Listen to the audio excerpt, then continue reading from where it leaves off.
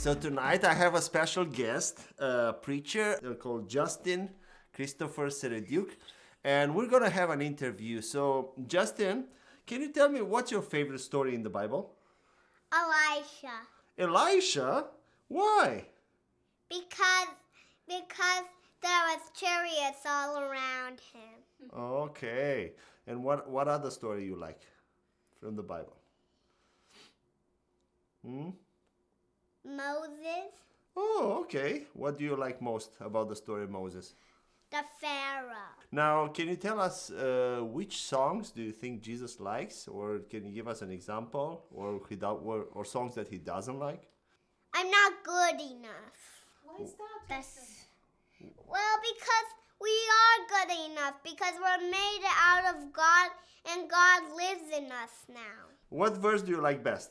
Matthew 10 8. Uh-huh. I heal the sick, I raise the dead, and I cast out demons by the Holy Spirit. Amen. What do you want to become when you're old, grown up? Hmm, let me think.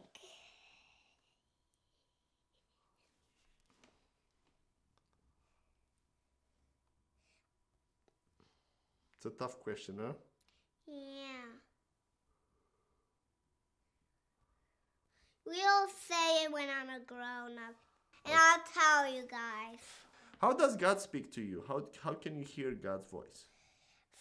From from mm, if you if you if you think of uh, of a bad um thinking, that's the devil.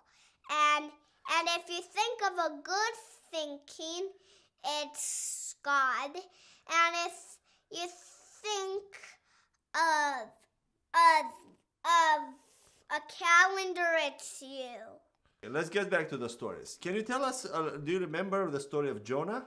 Yeah. Can you tell us what's the story of Jonah? What did Jonah do? Uh, he didn't. God told him to go to Nineveh and preach there, but Uh-huh. he didn't want to go. So he went in a boat, and there was a storm, and then he and then he fell in the water, and then and then a s- uh, well swallowed him, and then he stayed for forty nights or Huh? Three days, three, three days and three nights. nights. And then the the well spit him up to it out to the ocean and at the seashore and then and then God told him why did you hide from me? Now mm, I'm everywhere, so you can't hide from me. Now go to Nineveh, and this time he went to Nineveh and preached there. Okay. And did the people of Nineveh repent? Yeah. Now, can we pray for the people who are listening to us? What do you want to pray for them before we Um, close? Um, um, God, please protect uh, everyone in this earth.